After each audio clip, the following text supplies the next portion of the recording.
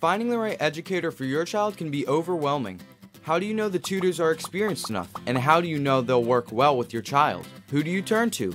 Luckily, there's Embrace Tutoring and Educational Services. We are a team of experienced tutors and college admissions staff that provide a full holistic approach. Even better, Embrace's academic advisors will work with you to customize a plan to your child's needs before matching them with master educators.